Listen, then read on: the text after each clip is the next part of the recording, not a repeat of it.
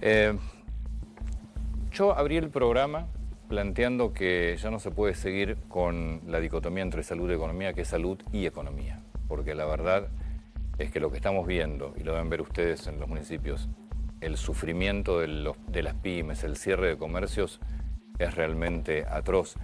¿Cómo creen que va a salir esto adelante? Mira, Antonio, sí, por supuesto que no, no es la salud o la economía. Está claro que se elige priorizar la salud porque si no, una economía enferma no, no tiene trabajadores, está claro. Me parece que todavía hablar de, de flexibilización me parece todavía muy apresurado. Me parece que, que la Argentina, hoy tuvimos una reunión en Hurlingham con, con el gobernador, Digo, ayer el, el- el presidente habló hace dos días que la provincia de Buenos Aires y las distintas provincias van a administrar su flexibilización, convocó a un grupo de intendentes Sí. de- del conurbano, en donde la verdad la postura de esa enorme mayoría no es flexibilizar, es pensar en cómo nosotros seguimos cuidando de nuestros vecinos. Yo te escuché cuando, cuando comenzabas, Antonio, el éxito de, de- de esta pandemia que se puede ver en el resultado, el reflejo del conurbano. Tenemos que ser muy cuidadosos, tenemos que trabajar todos juntos, ser solidarios. Yo creo que el argentino está siendo muy solidario y, por supuesto, ir atendiendo lo que está haciendo el gobierno. Yo creo que estamos ante un hecho inédito en el mundo, un presidente que vio venir, que por supuesto supo leer lo que pasaba en el mundo y apresuradamente, rápidamente Está tomó bien. una decisión que no había Yo- tomado yo Te nadie. cuento lo que yo veo, se están fundiendo Sí. la mayor parte de los comercios. Sin y ninguna de duda. Las pymes. Sin ninguna duda. Entonces, digo, yo entiendo, vamos, es buenísimo lo de la salud. Después explícame qué hace con una Argentina con el 50% de pobres. O, sea, más. O más, es decir, vivimos todo el Estado. No, Eh, yo sé creo de qué que- Estado tampoco, ¿no? Sí, también déjame tratar de, de ir en la misma línea de Martín. Me parece que hay una falsa dicotomía ahí, porque si vos empezás a flexibilizar, pero empezamos a contar los muertos de asientos, la economía tampoco va a arrancar, porque la gente se va a autorrecluir, Eh, sobre todo aquellos que tienen capacidad de consumo, que son los que pueden hacer mover a la economía. Entonces, no hay una salida fácil, eso está claro. El mundo no ha encontrado una salida fácil, es difícil que nosotros la encontremos. Los que minimizaron este Claro, fenómeno de que- que entrada, hoy están con países, 22.000 sí, muertos. Pero son otros países con otras espaldas que pueden bancarse esto. También tienen, salen. es cierto, Mi Antonio, también es- tienen otras, mi- otra espalda Mi sanitaria. ¿eh? pregunta, sí, sí, por eso mi pregunta es, yo sin duda está sí. bárbaro lo que hizo el gobierno hasta ahora. ¿No es momento de hacer a la par algo económico? A Yo creo que se está buscando. Bueno, eh, semana a semana hay actividades que se van este, flexibilizando. La actividad forestal hace, un- hace una semana, aserraderos, eh, corralones de material, se va probando de a poco. También uno tiene que ver cómo se cumple. Parece que no es tan fácil encontrar ese equilibrio. Lo que digo es, nuestra realidad en Argentina es débil económicamente, pero también es débil desde el punto de vista sanitario. No es que estamos fuerte en un costado y entonces, yo lo que digo es, tampoco uno puede imaginar que si libera la circulación, Es que yo no sé si tenés que liberar. no claro, sé. hay que ser muy selectivo. Fundamentalmente, me parece a mí, sí por lo pronto acelerar la llegada de dinero a las pymes. Sin ninguna Que no duda. están llegando. No, menos todavía darle tranquilidad. Al tipo que tiene un comercio, que le llega el dinero para pagar los sueldos. entendamos que todavía no hemos cumplido 30 días, ¿no? Fueron 10, 11 días de- de- del mes de marzo, donde con muchas dificultades, muchas pymes pudieron cumplir sus sueldos y, y haberlo pagado. Creo que el gobierno ha comenzado a trabajar en eso, seguramente esto es todo es muy dinámico. Son medidas excepcionales para un momento excepcional en el mundo. Todos los días, seguramente, cuando se lanzó el primer día la línea de crédito, parecía una medida extraordinaria y a las 48 horas ya parecía antigua y vieja. Martín. Creo que se va a ir aprendiendo y se va trabajando todos los días en eso. Ahí en el informe se veía que un comerciante pedía que haya posibilidades de bajar los impuestos municipales. ¿Ustedes en sus distritos ven la posibilidad de que esto exista a En- futuro o se está charlando? En nuestro caso, igual que lo hicimos ya el, el año pasado, cuando la crisis también era difícil para los pequeños comercios, estamos eximiendo la tasa de actividad de seguridad e higiene, cada municipio la llama de distinta manera. Eh, estamos, hemos prorrogado todos los plazos de vencimiento, estamos acompañando. El, el peso eh, de la tasa municipal respecto de impuestos como ingresos brutos o el IVA es menor, pero estamos acompañando, creo que todos nosotros estamos en esa actitud, eh, actitud. Está claro que todos entendemos algo, ¿no? Uno no puede pedirle eternamente a las pymes que paguen los sueldos si no hay trabajo. No, E- obvio. Esa magia no existe, en el mundo no existe, no, no podemos inventar la rueda. Con lo cual vamos a tener que encontrar mecanismos de transferencia del Estado al sector privado para ayudar y, y sostener. También nos pasa a nosotros como municipio, porque de alguna manera somos como la Sí, pyme sí. del Estado. Lo ¿Cómo que no ingresa no lo podemos que gastar. tenemos que brindar servicios. sueldos? Tenemos que brindar servicios.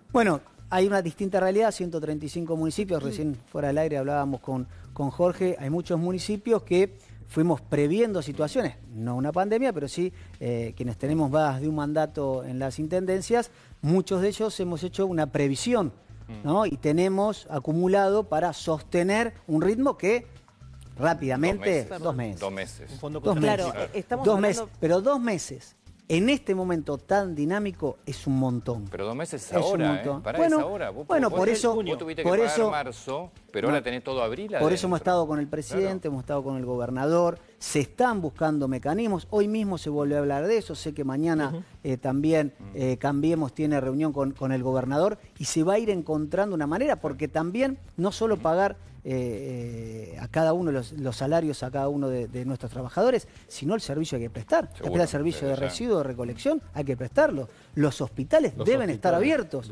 hay que pagar los insumos y, y hay que pagar a los médicos. Todo eso trae un trabajo dinámico de mucho Pero- trabajo, de uno- muchas de horas. Estás hablando, perdón, Perdón. De, de dos meses. Acá para un comerciante que es eh, la persona que entrevisté la semana pasada, un día es una eternidad. Exactamente.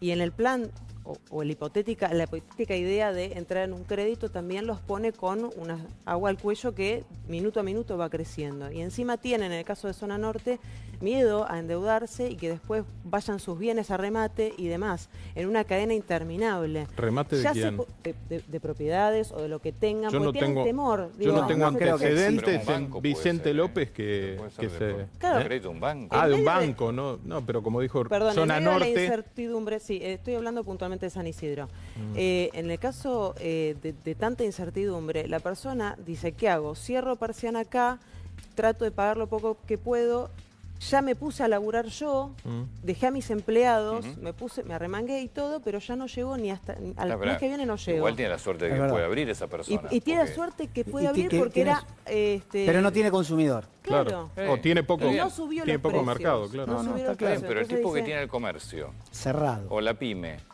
que no hace nada, que tiene que pagar igual el alquiler, que tiene que pagar la luz, porque la luz la tiene que pagar igual. Que el alquiler ya no lo está impuestos. pagando para pagar el sueldo. Los impuestos los tiene que pagar, pero eso es lo Sí, la primero. luz tendrá una prórroga de Sí. 60 días, como la- digo, cada cosa Sí, se va a mira, tener la- que ir la- solucionando. Pero las tarjetas de crédito que te prorrogaron el pago en nue- En nueve. 43% de tasa o 49%. Imposible. Una locura. Estamos o sea, te cobran el, para pagar el saldo que lo pagás en cuotas, pero con, Claro. con interés. Yo igual, digo, y, y entiendo la preocupación de la gente, lo vemos todo el día en la calle. Digo, hoy ya no hay sábado, domingo, descanso, familias todos los días. Digo, todos. Ustedes han cambiado su forma de vida, cada uno de, de los trabajadores, de los desocupados, de los, de los angustiados. Pero yo sigo con esto y quiero seguir dando este mensaje esperanzador. Digo, tenemos un gobierno, digo, les guste, al que le guste, digo, que está atento a esa necesidad y a, es- y a esa forma de trabajar dinámica. Seguramente van a faltar cosas y la gente tiene certidumbre para fin de mes. Se van a tomar medidas todos los días, las que hagan necesario, ¿Se sabe porque sin medida? Estado, sin Estado, Antonio, no se No, sale. pero eso no tengo la menor No duda, se sale pero sin que en Estado. esta situación no tengo la menor duda que, que- que es- sin Estado no se sale. ¿Alguna medida que ya hayan hablado o que se les hayan adelantado que se pueden tomar? No, las que ha tomado, las que ha dado ya el presidente, la que ha dado Guzmán, que tiene que ver con los repro, que tiene que ver con los créditos. Seguramente ahora se está trabajando las otras dos categorías de monotributistas. Para esta semana seguramente va a haber rápidamente, son más de 700 mil que están en ese segmento. Y seguramente para el fin de semana va a haber otra vez, porque cada vez las escalas son mayores que van quedando sin ingresos. Respecto de la flexibilización de la cuarentena eh, por sectores, por barrios, en el conurbano hay muchas villas y existe la posibilidad también de que algunas villas pidan que esos barrios queden aislados, pero que se pueda caminar dentro del barrio. ¿A ustedes tienen previsto hacer este tipo de flexibilización en sus distritos? Y también si se los han pedido. eh, Nosotros tenemos el día miércoles, comenzamos un- eh, una prueba en dos barrios de Lomas de Zamora, conjuntamente con la Secretaría de Salud, las organizaciones sociales, en dos barrios. Vamos a hacer una prueba tanto en Lavallol como en el barrio obrero. Vamos a intentar. El ¿Ya problema es. o van a hacer? eh, Comenzamos el día miércoles. Pasado. Comenz- No, no, vamos a comenzar el Ya día le miércoles. ya pidieron Sí, ya autorización. pedimos, lo estamos haciendo. Ahora, ¿qué pasa con eso? Tiene que ser muy finito, muy trabajada, Seguro. porque el aislamiento social Lo que queda es esa persona que llega a salir, el cuidado que tiene. No alcanza con solo tomarle la fiebre y hacerle poner alcohol en gel. Hay que ver dónde trabaja esa persona, hacia dónde se traslada. Por eso vamos a comenzar con pequeños barrios. En Lomas de Zamora entendemos que hay prácticamente un millón de habitantes. Por ahí Sí. la flexibilización se puede hacer en, al- en alguna provincia, en algún barrio, en alguna ciudad del interior. El conurbano bonaerense es mucho más ¿Y en complejo. Vicente López? Nosotros estamos viendo un cumplimiento muy alto, inclusive en zonas de, de barrios más populares, en, en la Villa Las Flores o en Sibori o en La Loma. La verdad que hay un compromiso importante. Nosotros vamos a sostener el sistema como está planteado hasta hoy. Igual lo que tenemos que entender es que no hay una solución para un municipio y para otro. Digo, Vicente López termina y empieza San No, es Martín. todo el AMBA, Es Claro. todo el- todo de sea, encontrar mecanismos Sí. únicos que sirvan en general, porque además la gente se mueve, va, viene.